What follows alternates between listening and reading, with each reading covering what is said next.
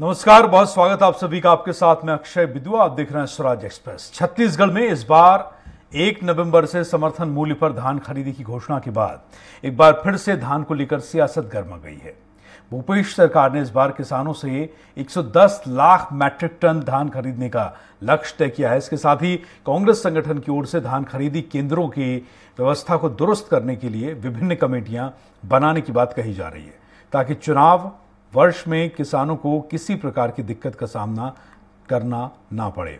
वहीं भाजपा का यह कहना है कि धान, असल धान खरीदी तो केंद्र सरकार करती है, राज्य सरकार तो केवल एक एजेंसी है तो फिर किसान किस बात का क्रेडिट लेना चाहती हैं? साथ ही भाजपा सरकार से किसानों का दान दाने दाने धान खरीदने की मांग अब ये कर रहे हैं। तो आइए करते हैं चर्चा की शुरुआत और इस वक्त प्रदेश अध्यक्ष किसान कांग्रेस रामविलास साहू जी हमारे साथ बने हुए हैं। प्रदेश प्रभारी भाजपा किसान मोर्चा। संदीप शर्मा जी हमारे साथ हैं और किसान नेता पारसनाथ साहू जी हमारे साथ हैं।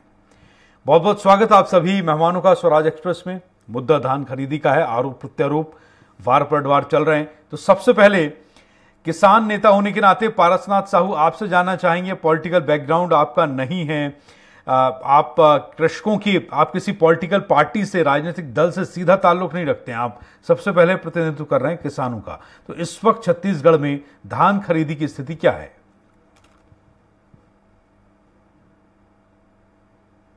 नहीं अभी तो धान खरीदी एक नवंबर से चालू करने की जो शासन ने घोषणा किया है। जी। और इसके लिए हम लोग आठ जिलों के किसान नेताओं ने मुख्यमंत्री को मांग किया था।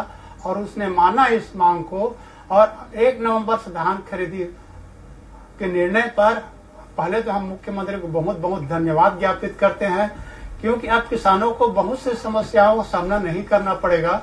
हाँ साथ में हम यह भी मांग करते हैं कि महँगाई को देखते हुए कम से कम धान खरीदी का लिमिट है जो 18 से 20 कुंटल निश्चित रूप से किया जाए, और हमें उम्मीद है कि किसान हितैषी मुख्यमंत्री हमारी मांग को ज़रूर स्वीकार करेंगे। ठीक है, लेकिन पिछले साल की जो परेशानियाँ थी, आपको नहीं लगता कि इस साल वो परेशानियाँ नहीं आनी चाहिए? जैसे अभी हमने अपनी रिपोर्ट में दिखाया कि बारदाने की प्रचुर मात्रा में उपलब्धता एक परेशानी होती है, समय पर पेमेंट ना हो पाने एक परेशानी होती है। वेयर हाउसेज में या मंडियों में किसानों का नंबर समय पर नहीं आ पाना एक तरह की परेशानी होती है। तो इस तरह की कोई दिक्कतें जो पिछले साल रही हो और आप चाहते हैं कि इस साल वो ठीक हो? नहीं प्राकृतिक आपदा को छोड़ दिया जाए अगर सरकार अभी से तैयारी कर ले तो निश्चित रूप से इस साल परेशानी कम होगी। उसका मैं कारण बता रहा हूँ। जैसे कई धान नवंबर में भी कटेगा तो जो पहले अर्ली वेराइटी का धान कटेगा वो समितियों में जाएगा बिक्री के लिए तब तक दूसरा धान आ जाएगा। इस प्रकार क्रम से यह चलता रहेगा। और रूप से बारदाने की व्यवस्था होगी ऐसा लगता है मुझे। क्योंकि अब शासन ने एक और चालू कर दिया है कि पुराने बारदानों में खरीदता है तो बहुत कुछ समस्या उससे हल हो जाती है। और अभी तो काफ़ी समय है। ठीक है चलिए लौटूँगा आपके पास। संदीप शर्मा जी हमारे साथ हैं और आप प्रदेश प्रभारी भाजपा किसान मोर्चा के। संदीप शर्मा जी अब जो स्थिति है अभी क्योंकि एक नवंबर से धान की खरीदी शुरू होने वाली है और जो आ, मांग की जा रही दाने दाने धान खरीदने को लेकर आप लोग मांग कर रहे हैं प्रदेश सरकार ये कह रही है कि हमसे ज़्यादा तो केंद्र की तरफ़ से बहुत सारी पॉलिसीज़ बनाई जाती हैं देखिए अक्षय जी जब पिछला विधानसभा चुनाव हुआ हम्म। उस चुनाव के पहले जितनी भी सभाएँ हुई हैं बड़ी सभा कांग्रेस पार्टी की जिसमें राहुल गांधी जी भी स्वयं थे हम्म। राहुल गांधी जी ने कहा था कि हमारी सरकार जब आएगी तो हम पंद्रह क्विंटल का बैरियर हटा देंगे हम्म। और जितना धान किसान लाएगा अपने खेत को उतना धान हम खरीदेंगे वहाँ पर उन्होंने ये कहा था कि हर किसानों के खेतों के पास हम जो है अक्सर जहाँ जहाँ पर हम कारखाना लगाएँगे ऐसा उनका कारखाना उन्हीं का शब्द था जहाँ पर किसान अपने उत्पाद को बेचेंगे हम्म। भूपेश जी ने जो बिजली बिल हाफ़ कहा किसानों का बिजली बिल हाफ़ नहीं हुआ तो जो दाना दाना खरीदे की बात आज चार साल बीत गया लेकिन दाना धान नहीं खरीदे एक तरफ़ से छाती पीट रहे हैं कि यहाँ पर हमारा रकबा बढ़ रहा है ज़्यादा लोग किसान लोग यहाँ पंजीयन करा रहे हैं हम्म। तो किसानों को भरोसा था कि आप दाना दाना धान खरीदेंगे। किसानों ने ज़्यादा ज़मीन पर धान बोया हम्म। गन्ना के रकबे पर हमने धान बोया हमने हम्म। सोयाबीन के रकबा पर धान बोया कि आप जो है हमारा दाना दाना धान खरीदेंगे। लेकिन हमको क्या मिला? हमारे साथ छल कपट किया गया। दाना दाना धान नहीं खरीद रही है सरकार। पंद्रह क्विंटल का लिमिट जो स्वयं राष्ट्रीय अध्यक्ष इनके राहुल गांधी जो इनके सबसे शीर्ष नेता है उन्होंने जो वादा किया था उसके वादा खिलाफी किए। आखिर किसका भरोसा किया जाए? तो इस तरह से झूठ बोल करके छत्तीसगढ़ प्रदेश की जनता को ठगने का खासकर किसानों को ठगने का काम किया और उसका खामियाजा आज किसान भुगत रहे हैं। आप जो कहते हैं हमने ज़्यादा धान खरीदा बारदाना की हमको तकलीफ़ हुई हमारा रकबा काटने का आपने काम किया हमको तरह तरह के परेशान किए। अभी पिछले पूरे सीज़न में किसानों को आपने मिट्टी भरा खाद थमा दिया इसको कंपोस्ट खाद है करके। एक हज़ार रुपया प्रति एकड़ के हिसाब से प्रदेश के जो किसान हैं उनको जबरन खाद देना पड़ा। आपने जहाँ से लोन मिलता है वहाँ पर इसको अनिवार्य कर दिया। छह सात सौ करोड़ रुपया आपने किसानों से झटक लिया। आपके किसानों को पूरा पर्याप्त खाद आने के बाद भी आपकी वितरण प्रणाली इतनी दोषपूर्ण थी कि किसानों को डीएपी और यूरिया महँगे में खरीदना पड़ा। मैं कल ही अपनी सोसाइटी में गया था यूरिया से हमारा जो सोसाइटी का गोदाम भरा पड़ा है। कहीं कोई कमी नहीं थी लेकिन उसके बाद भी किसानों को यूरिया को दो रुपया की यूरिया को हमको छह सौ सात सौ रुपये में खरीदना पड़ा। बारह सौ रुपये के डीएपी सॉरी तेरह सौ पचास रुपये के डीएपी को हमको सत्रह सौ अठारह रुपये में खरीदना पड़ा नेको किसान को। करोड़ों रुपया जो आप एक तरफ़ से एक जेब से डालने का काम कर रहे हैं, दूसरे जेब से किसानों से पैसा लूटने का काम कर रही सरकार। तो किसान हर तरह से हैरान है, परेशान है, और हम तो सरकार से मांग करते हैं राहुल गांधी जी ने जो वादा किया, हम दाना दाना धान खरीदेंगे। तो ये सरकार दाना दाना धान खरीदे। तो मैं ये कहना चाहता हूँ आपसे कि आजकल तो लोगों में ये भी बात हो गई है कि लोग आकर के बहुत सारी जगहों में बात करते हैं। वो कहीं ना कहीं लोग राजनीतिक दल से जुड़े रहते हैं कांग्रेस पार्टी को कवर फायर भी देने का काम करते हैं। किसान नेता बन करके आते हैं कई जगह। तो ये इस तरह से काम भी कांग्रेस पार्टी कर रही है कि लोगों को अपने पक्ष में बोलने के लिए कवर फायर देने वाले लोग भी पैदा कर रहे हैं। झूठ का प्रचार करना विज्ञापन बाजी करना विज्ञापन बाजी करके पूरे देश के लोगों को गुमराह करना। प्रदेश के लोगों को तो कर ही दिया। देश के लोगों को गुमराह कर रहे हैं। कहते कुछ है करते कुछ है। वादा करते हम शराबबंदी कर देंगे, लेकिन कल कहते हैं कि जो समिति के अध्यक्ष हैं, कि छत्तीसगढ़ की जनता का जनमानस शराबबंदी पे नहीं है, हम नहीं करेंगे। तो आपने किस आधार पर वादा किया? अब ये कल को कह देंगे कि छत्तीसगढ़ के किसान जो हैं, वो नहीं चाहते कि दाना दाना धान खरीदे। ये तो कुछ भी कह सकते हैं ना। आज चुनाव निकलने के बाद किस तरह की बात ये सरकार कर रही है, बहुत हास्यास्पद है, निंदनीय है, शर्मनाक है। आज इनके मंत्री से कह दो, शराबबंदी पर तो बोलते हैं कि शराब से सड़क बनती, उसी से पैसा आता है तो। तनख्वाह मिलता है लोगों को। इनके मंत्री को सड़क के जो खराब स्थिति दिखा करके बोलो कि भैया सड़क खराब क्यों है तो मंत्री बड़े निर्लजता से कहते हैं कि सड़कें खराब होती तो दुर्घटना कम होती है। तो इस सरकार की हालत ये है आपको मैं बता रहा हूँ अक्षय जी और बहुत दुर्भाग्यजनक है कि सरकार है कर्जे में डुबा दी प्रदेश की जनता को किसानों को हर वर्ग को परेशानी है चाहे वो शिक्षा कर्मी हो चाहे वो किसान हो चाहे वो महिलाएँ हो चाहे वो दैनिक वेतन भोगी हो चाहे हमारी स्कूलों में खाना बनाने वाली हमारी बहनें हो, चाहे समूह की महिला हो, चाहे गोबर बिनने वाली महिला हो, पूरा प्रदेश आज हलकान है। इसलिए मैं कहता हूँ कि ये झूठ बोलने वाली सरकार है और केवल और केवल ये सरकार जो है, विज्ञापन के आधार पर टिकने वाली सरकार है। ठीक है। कुल मिलाकर रामविलास साहू जी पारसनाथ साहू ने जो बात कही, उस सिरे से खारिज आपके प्रदेश प्रभारी किसान भाजपा किसान मोर्चा संदीप शर्मा जी कर रहे हैं। आप सरकार की जो पॉलिसीज़ हैं धान खरीदी को लेकर क्योंकि अभी एक नवंबर से खरीदी शुरू होनी है। पिछले साल भी हमने बहुत सारी दिक्कतें परेशानियाँ देखी भले ही पारसनाथ साहू इस बात को स्वीकार करें या ना करें।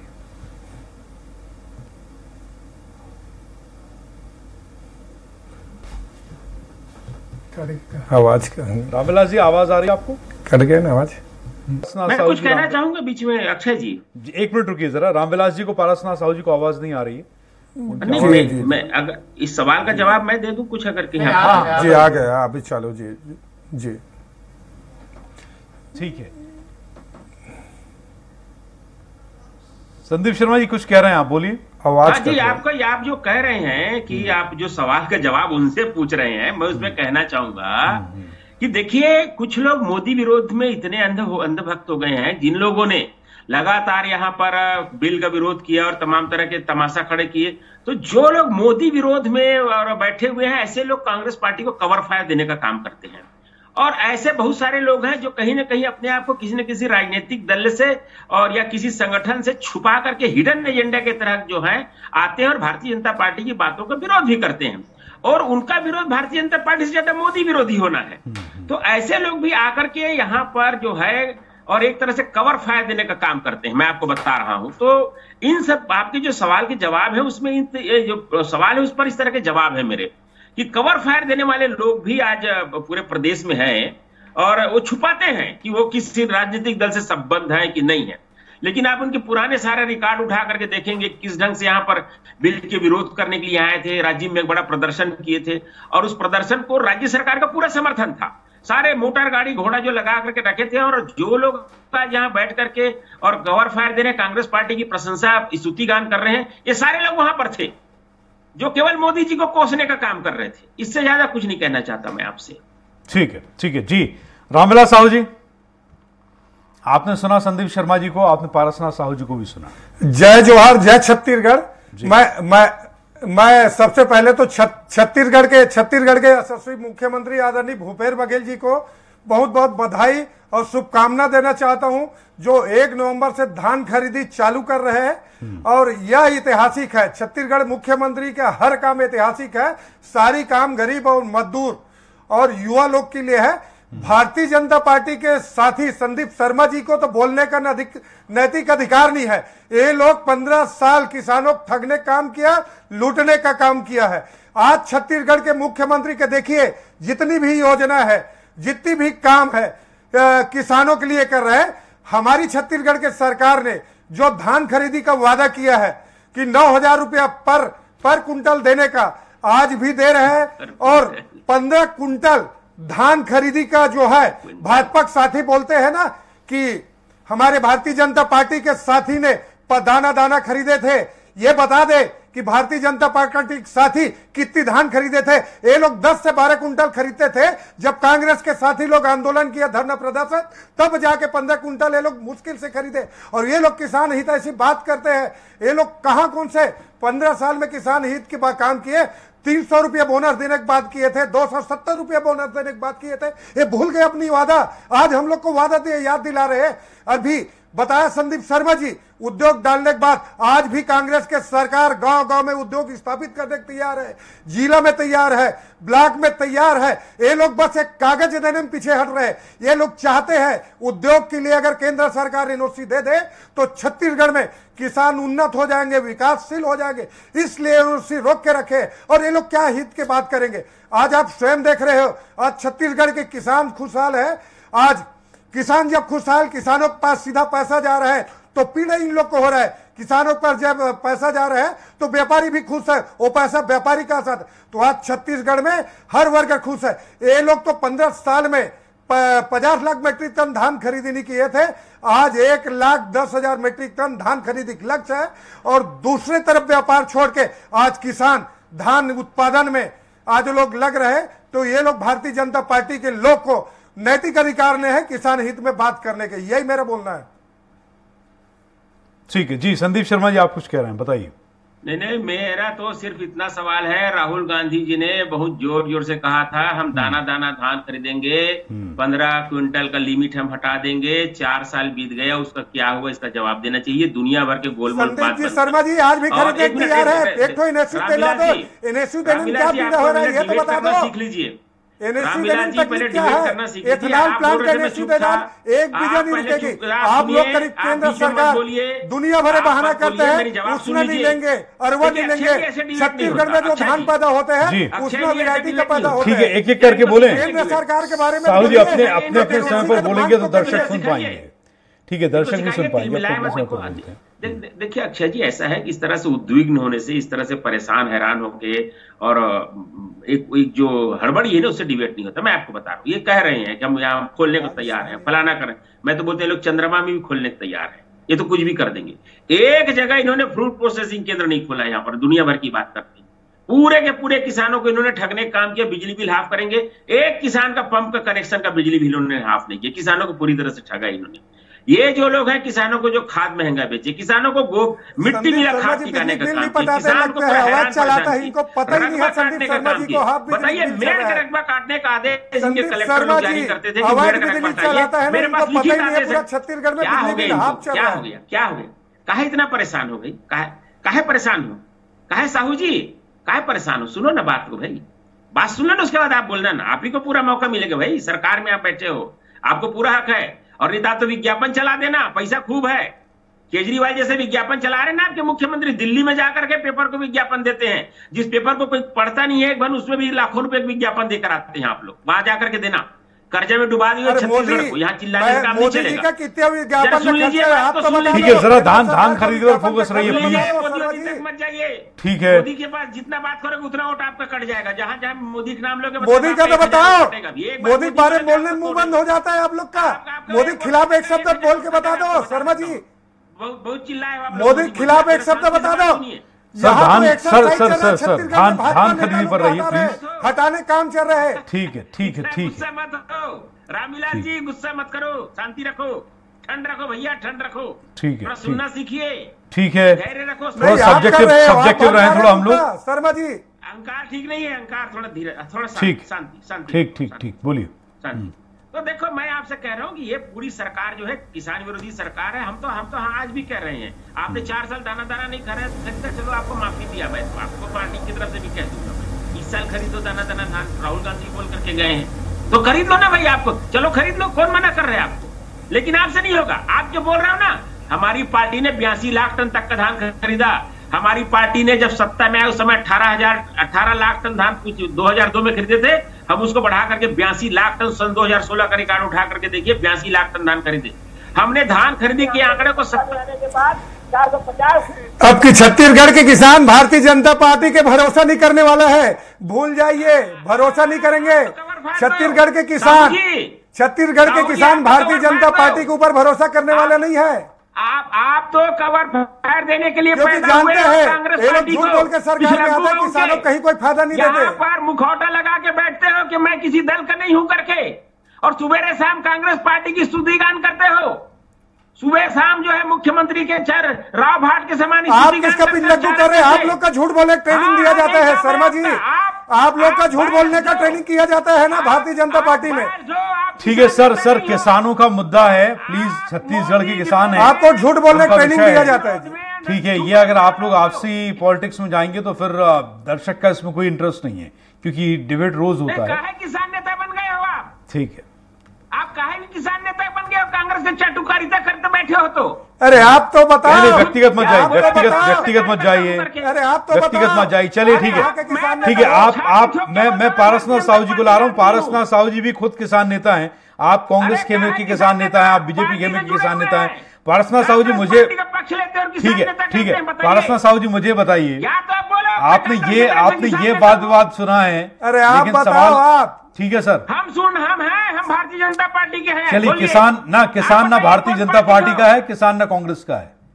किसान किसान। ट्रेनिंग कैंप है। किसान देश का अन्नदाता है। कैंप चलता झूठ बोलने का किसान देश का चलता। अन्नदाता है। कांग्रेस ज़मीन में रहा काम पारसनाथ करता है। साहू जी आप बोलना शुरू कीजिए और मैं जो कह रहा हूँ उसके आधार पर बताइए कि किसानों की प्रगति के लिए अभी इस वक्त धान खरीदी का की जो बातें राहुल गांधी ने कही हैं पंद्रह क्विंटल प्रति एकड़ का जो एक समर्थन मूल्य के आसपास उन्होंने जो दिया है एक अमाउंट एक एक मूल्य जो गिनाया समर्थन मूल्य अब इन सारी चीज़ों को ध्यान में रखते हुए पीछे की जो पूर्ववर्ती सरकार थी धान खरीदी को लेकर उसकी नीतियों से आप संतुष्ट हैं या अब जो धान खरीदी हो रही है आएगी? एक एक नवंबर से उसमें जो तब्दीलियाँ की गई हैं उसमें जो क्लॉज बदले गए हैं उसे लेकर आप ज़्यादा संतुष्ट हैं। प्रदेश का किसान छत्तीसगढ़ का किसान। हाँ, ठीक है मुझे समय दिया गया है। आप दोनों साथी न बोले।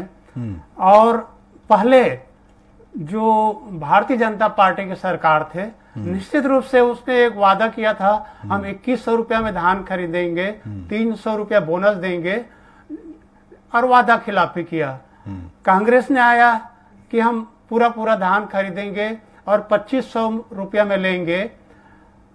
ये बात उसने कही।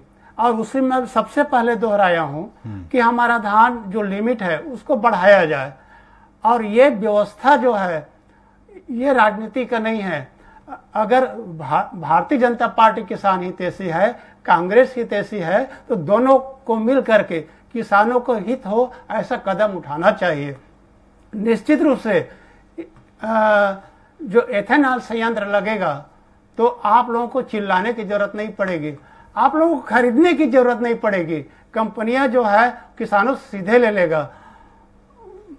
अच्छी रेट में बिकेगा पूरा पूरा धान बिकेगा। तो इसमें राजनीति नहीं होनी चाहिए। किसानों के मामले में दोनों पार्टियों को राजनीति नहीं करनी चाहिए। यथा योग एक दूसरे का मदद करना चाहिए तभी किसानों का हित होगा। अन्यथा हम किसान सब समझते हैं और समय आने पर उत्तर देते हैं। ठीक है। तो आ, ये बताइए रामविलास साहू जी की अभी पारसनाथ साहू जी ने धान खरीदी को लेकर धान की जो रेट्स हैं उससे लेकर जो बात कही कि अगर भविष्य में कुछ ऐसी टेक्नोलॉजी आती हैं उन्होंने एथेनॉल संयंत्र का भी ज़िक्र किया इस तरह की योजनाएँ अगर आती हैं तो किसानों की जो फ़सल है उसे और उचित मूल्य मिल पाएगा बाज़ार में। तो इस दिशा में कुछ और काम भी किए जा रहे हैं? नहीं वही तो मैं बताना चाह रहा हूँ उद्योग आधारित मतलब ये अवल प्लांट का एनओसी के लिए अभी लगातार लगे हुए। अगर उद्योग के लिए हम लोग को छत्तीसगढ़ में एनओसी दे दे जो कृषि आधारित उद्योग है। उद्योग के एनओसी मिल जाता है तो एक एक बीजा धान खरीदने को छत्तीसगढ़ सरकार तैयार है। और रही सवाल अभी आगामी जो धान खरीदी की अव्यवस्था किसी प्रकार से ना हो इसलिए पूरा कलेक्टरों को समस्त अधिकारियों को निर्देशित किया गया है कि किसान का पूरा सहयोग किया जाए और किसानों की किसी प्रकार की अव्यवस्था का सामना न करना पड़े। तो जो अभी छत्तीसगढ़ का जो सरकार है आप स्वयं देख रहे हैं और हमारी भारतीय जनता पार्टी के साथी बोल रहे हैं वो भी देख रहे हैं। वो स्वयं किसान उसको कितनी फ़ायदा हो रहा है? लेकिन उनका मजबूरी है कि वो कांग्रेस सरकार की पक्ष नहीं लड़ सकते। अभी आज भाजपा शासित चाहे ऑल इंडिया में देख लो कहीं भी पच्चीस सौ रुपए में धान खरीदी नहीं हो रहा है।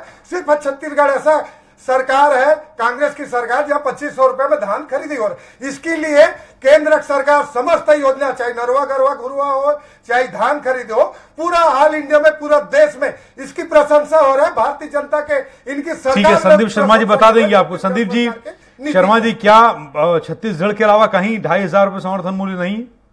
देखिए साहब मैं आपको ये बता रहा हूँ कि अभी जो पिछले समय सदन में इनसे पूछा गया कि ये जो धान खरीदी पिछले चार साल हुई है इसमें चावल के बाद में आपको केंद्र सरकार से कि, कि, कितना पैसा किसानों को दिया गया और आपने कितना पैसा दिया।